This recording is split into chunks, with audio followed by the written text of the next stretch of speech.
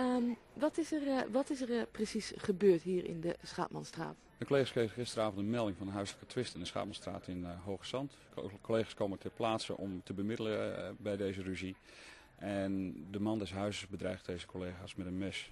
De collega's voelen zich eh, eh, dermate bedreigd dat ze geen andere mogelijkheid ha- eh, had om deze meneer eh, met een pistoolschot neer te schieten.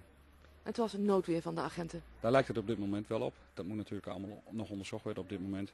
Maar eh, het lijkt erop dat de collega's uit noodweer hebben geschoten. Hoe is het eh, met het slachtoffer? Op dit moment eh, is het slachtoffer overgebracht naar het ziekenhuis om de kogels operatief, operatief te verwijderen. Hij is buiten levensgevaar op dit moment. En hebben beide agenten schoten afgevuurd of maar één van de agenten? Nou, is op dit moment nog niet helemaal duidelijk. Dat is natuurlijk onderwerp van onderzoek op dit moment. De technische recherche en de recherche zullen natuurlijk een uitgebreid onderzoek doen in de woning. Want daar heeft het schietincident plaatsgevonden. En eh naar aanleiding van dat onderzoek zal duidelijk worden wat er precies gebeurd is in de woning.